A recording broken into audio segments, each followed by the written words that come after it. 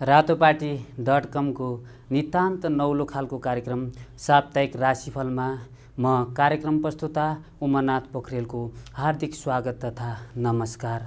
अबदेखि हामी साप्ताहिक रूपमा राशिफल प्रस्तुत गर्नेछौँ।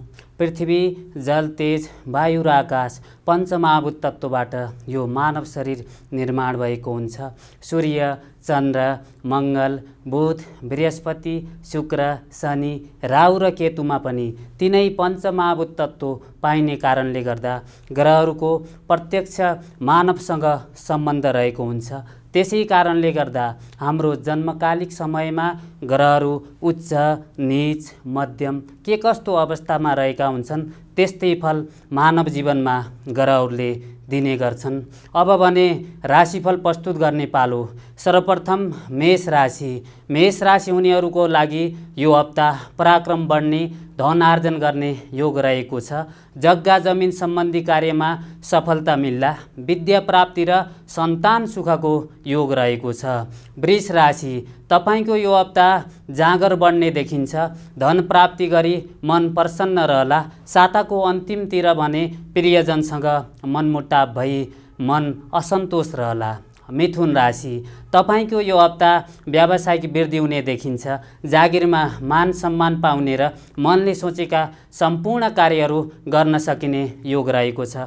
कर्कट राशि यो हप्ताको सुरुमा तपाईँमा आरोप आउने खर्च बढ्ने देखिए पनि साताको मध्य र अन्त्यतिर भने सम्पूर्ण कार्यमा सुधार भई सोचेको काम पुरा हुने योग छ। सिंह राशि यो हप्ताको सुरुमा तपाईँको धन आर्जन योग परेको छ। साताको मध्यतिर खर्च बढ्ने देखिए पनि अन्त्यतिर जागिरमा सम्मान पाउने देखिन्छ। कन्या राशि। तपाईँको यो हप्ता व्यापारमा वृद्धि भई मन प्रसन्न रहने देखिन्छ। जागिरमा पनि सन्तोष मिल्ने देखिन्छ। साताको अन्त्यतिर भने मन असन्तोष बढ्ला। तुला राशि। तपाईँको यो हप्ता हरेक किसिमबाट भाग्य चम्कने योग छ। धनलाभ गरिने व्यवसायमा उन्नति गर्ने देखिन्छ। वृश्चिक राशि।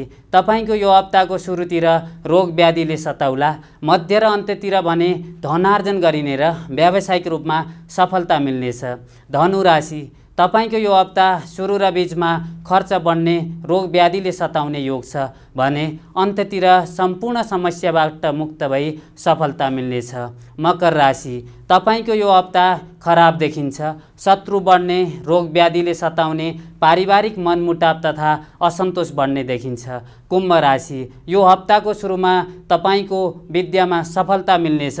मध्य र अन्त्यतिर भने रोग व्याधिले कष्ट दिने र घरदेखि टाढा जानुपर्ने योग छ। मीन राशि। तपाईँको यो हप्ता नयाँ साथीसँग भेट भई मन प्रसन्न हुने देखिन्छ। अन्त्यतिर भने आफन्तजनमा झगडा मनमुटाव बढ्ने देखिन्छ। तपाईँहरूको राशिमा जे जस्तो भए तापनि तपाईँहरू कर्ममा विश्वास गर्नुहोस्। अवश्य सफलता मिल्नेछ। तपाईँहरू हाम्रो फेसबुक पेज रातोपाटी डट कममा हामीलाई प्रत्यक्ष भेट्न सक्नुहुनेछ। अब अर्को हप्ता भेट्ने बाचासहित तपाईँहरूको यो हप्ता सुखद र सार्थक बनोस् भन्ने भावनाका साथ म कार्यक्रम प्रस्तुता ज्योतिर्विद उमानाथ पोखरेल बिदा चाहन्छु। नमस्ते।